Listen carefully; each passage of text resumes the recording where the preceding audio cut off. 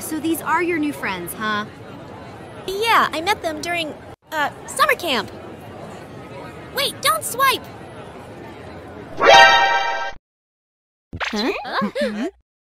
Is that some kind of monster? What? No! It's a human sized basilisk plushie. I want one. Where can I get one? But, um, it costs like 200 bucks.